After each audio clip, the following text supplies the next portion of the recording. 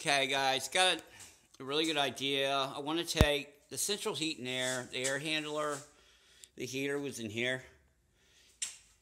Okay, what I want to do is I want to put it in here, which is right across the hall. Okay, I want to put it in there, and I want to take this, all this room, and add it to the bathroom and add another shower. Then it'd be two full baths. Right now, you got that Jack and Jill thing going on.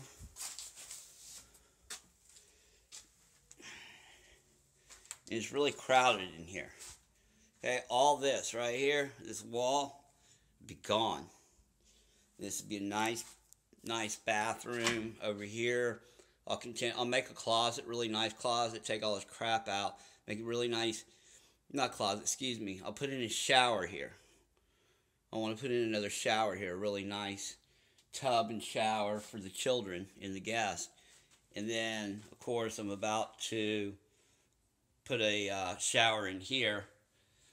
It, it just it'll it'll add like you know two three grand to the price, four grand, and it'll cost another fifteen hundred on top of what I thought my bid was going to be. Um, so I guess what I'm doing is it's recording it yeah, as you can tell, we're moving on these on the drywall.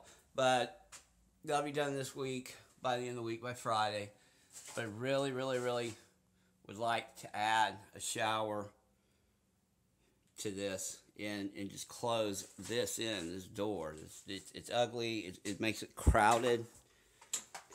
It's just the benefits outweigh the cost. So I'm requesting another 1500 and didn't know if y'all could wire it or not because I'm at the place now where I'm going to be doing it now uh, if you say yes. But I'll send this to you. Thanks, guys.